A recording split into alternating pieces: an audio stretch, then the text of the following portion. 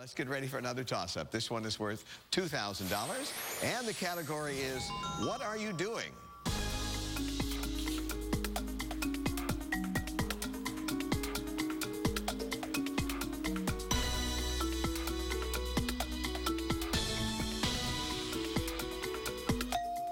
And it's Josh. Passing the bacon? No.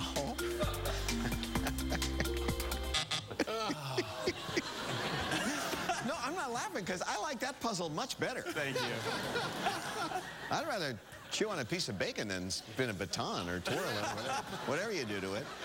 You know, they don't make any bacon batons. That's another thing that we should really have. Jim, you want to take this? Because I'm about through here. I think you're starting a new trend, Pat.